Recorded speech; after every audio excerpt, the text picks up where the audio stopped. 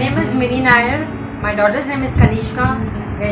She's studying in this institute uh, in Kaizen as VFX and animation. I found this Kaizen Institute in Google with a lot of uh, positive reviews and therefore uh, I took admission in this institute.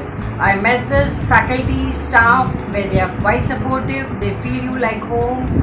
The classes and labs are awesome and maintained and uh, now as of now what I've seen my daughter uh, she's into an encouraging factor. She's into flying color. She's joined from last six months. She's out here. And uh, she's doing well in this institute.